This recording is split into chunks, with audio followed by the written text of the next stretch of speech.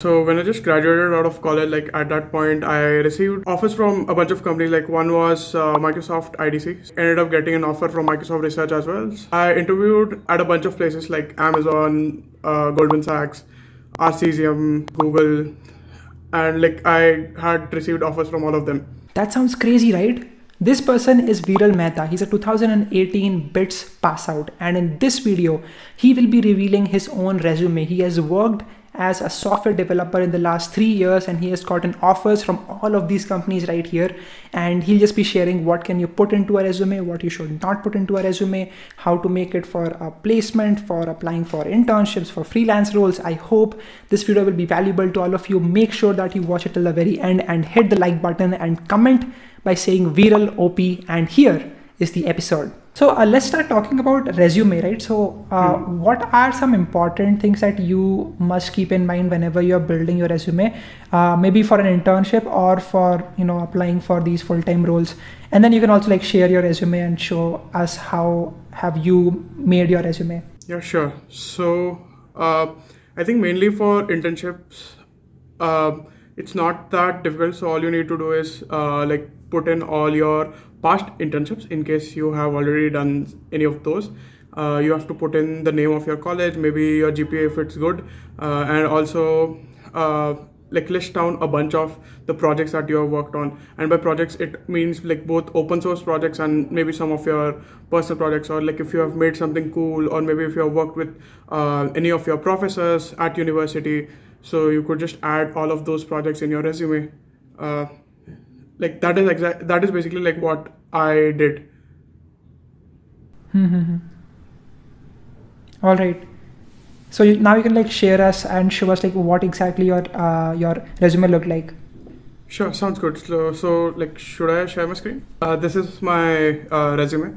So as you can see that uh, like on the resume like one of the most important things that you need to do is to make sure that uh, you have put in your email address and your phone number or the contact number. So like i just uh, like removed my actual email address but like you you have to like put in your actual email address and your phone number. Uh, like these are the most important things otherwise nobody will be able to reach out to you. Uh, the other important thing is like add your name at the top of the resume and like preferably somewhere where it's visible. You you should also uh, add links to your github profile and your linkedin. Uh, the other thing that is important, especially for students, is that they should uh, put in their education after that. Uh, so, like the goal of your resume should be this, which is like you have to make sure that everything that you have done, which is impressive, you need to put all of those things close to the top of the resume. So, typically for okay. students, uh, the main highlight is usually their education. So, if you uh, have, mm-hmm. if you have uh, been in a good college then in that case definitely put in your education. You don't have to put in the marks of your 10th class or your 12th class. It really does not matter and like nobody actually cares about yeah. that. Uh, after that uh, like depending on uh, what is impressive you can add that section. So for example in my case i've been i've worked at a lot of companies so i've just added all the companies that i've worked at uh, so like Google, Amazon, Microsoft Research, Microsoft Research. I've also uh, done Google Summer of Code, and then finally mm-hmm. a software engineering internship at Microsoft. So, uh, so because my work experience, I had work experience at these companies, so I added uh, my work experience section here. Then after that, what you can do is maybe add your uh, technical skills. You don't need to like list every language out there. So basically, like depending on the job role that you are applying to, uh, you need to like find keywords from the job description and add those keywords in the skills section. Uh, like preferably in the in a, in a way that you actually know those skills. Like I, I wouldn't suggest that you lie on your resume. Definitely only add uh, skills that you are already familiar with uh, so yeah. just do that. One more thing that I can see is that mm-hmm. yeah, you've made you made points everywhere, right? So that is important. Don't write paragraphs. Just make sure that everything is readable properly by using points. Yes, yes, uh, yeah, that totally uh, makes sense. Then after that, uh, you can add your certifications if any. So I haven't done a lot of courses. Uh, like especially after graduation, I don't think these matters as these certifications like matter as much, especially if you want to go and work at big tech companies. So I've just added Yeah. it for the sake of adding it. Then like if you have some Mhm. projects that you have worked on at your university, maybe under a prof or your personal projects, you can then add those projects. And like again, you can add add these projects point wise. So you can name the title and then give a brief description of like what what was done in the project. Uh, maybe the name of your professor if that's relevant. Uh, otherwise, uh, that's okay. Like even if you don't name your professor. Uh, then Yeah, after yeah, that, uh, definitely mention like what you did uh, in the project, then how you did it, and then also like what was the end result or like what was your learning outcome and like what was the tech stack uh, that you used in case uh, you uh, you have done a tech oriented project. Uh, I'm not very sure Mhm. about like other fields, like non-tech fields, but like at least in tech, Yeah. that is what you should be doing. Uh, so like these were a bunch of projects that I had added. Then like in case you were a member of a particular club at your university, definitely add the names of this uh, club over here. Mhm. Uh, and then finally, also, like, are those uh, headings clickable? Like, can I like click and see that exact project? Let's say I make like a website. Mhm. Uh, I can have links to those as well, right? Yeah, it totally makes sense. I, I, although I haven't added it, but I highly recommend that you do. So, like, whenever you create a project, just add a link to your uh, GitHub profile where you have actually gone ahead and uh, like implemented uh, something. So definitely add that. Yeah. That will be super helpful. Like whatever links you can, like wherever you can, just uh, just add those. Um, so after that, the next thing that is like as I said, you can add your positions of responsibility. Uh, at least for tech, I don't think even these matters a lot. Uh, These matter a lot. So Mhm. yeah, like it's it's optional, I would say. Then the other thing is like maybe you can add your like past achievements or like any sort of achievements uh, and definitely Yeah. only add achievements that are relevant to the job that you are applying to like don't add something like hey i stood first in some like running race like that, that's not even relevant to the job so definitely don't Yeah. uh, do something like that uh, then yeah you can like if you have been to ACM ICPC, so like for me, I had been to ACM ICPC, so I had added that over there. I had received some scholarship from my Mhm. university, so I added that. Uh, maybe if a particular course, uh, like related to your degree, uh, if you've done well in that course, you can uh, add that as well. Like maybe your rank or like how well you did or your GPA, like something like that.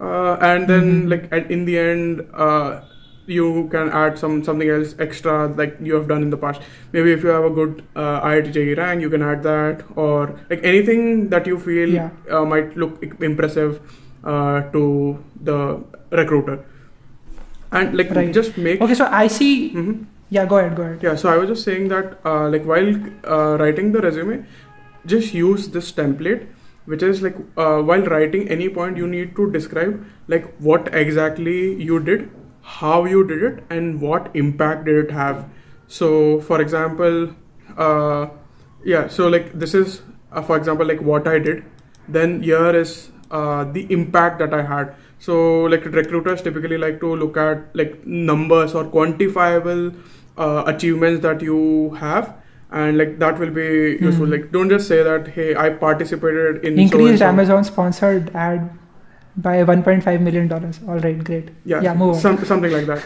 okay so definitely Yeah, make yeah. sure to like add some numbers if you if you can then like if you have Mhm. done research uh, maybe you could also add a section on your research publications uh, there. So i haven't really added a section yet because like i was applying for mainly uh, software engineering role so i just removed that section. But like i had uh, so like fortunately for me like one one of the papers that i was uh, that i like contributed towards like that it has been selected to get published. Uh, so like maybe you can add something like that uh, in your research Yeah. section somewhere Mhm. so uh, I see two pages in your resume. Is there like a number that you should only stick to one page? Yes, that is if you're a fresher. exactly the case.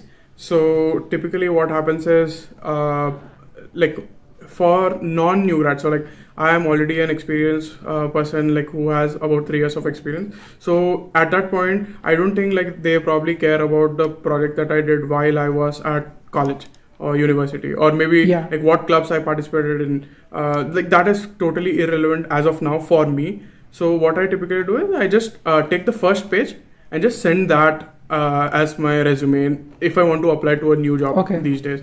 Uh, however, like Okay. for you, for students, like uh, you wouldn't have like so many experiences, so like your resume will be shorter and like try to fit as much information as possible on the first place, but at the same on the first page, but at the same time, don't make it extremely uh, like crowded as well, that it becomes hard Got for it. other people to read.